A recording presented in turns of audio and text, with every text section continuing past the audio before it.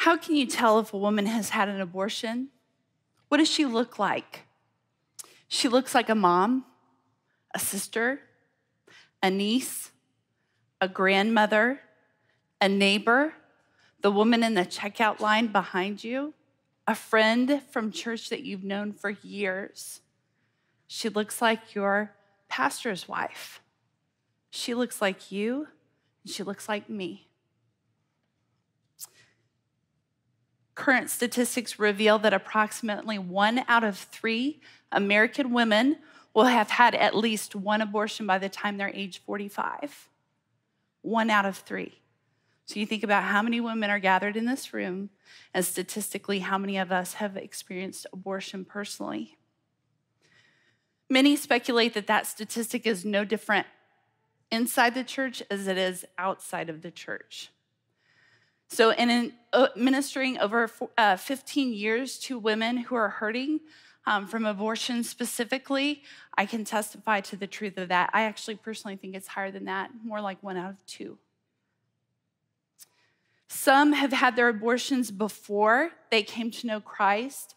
Some of them, like myself, were Christian young women who grew up in the church and had an abortion. So let me tell you a little bit about my story.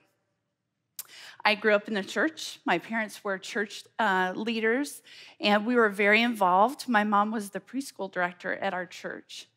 Um, I was boy crazy from the time I was little. I got in trouble one time for kissing a boy. I was four years old for kissing a boy in my preschool class, and my mom was the preschool teacher. so, boy crazy. So, so my mom should have seen it coming, right?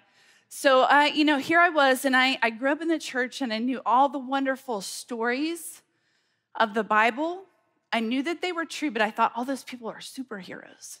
Like they're really awesome. I didn't know until I got older and read all their junk. I was like, dude, they're just like me. So, um, but I heard all the stories and I knew a lot of truth, but I didn't really know how the Bible applied to my life. And so um, I had heard things like, don't have sex until you're married. Why? Because the Bible says so. Is that true? Yes. But I didn't know much beyond that.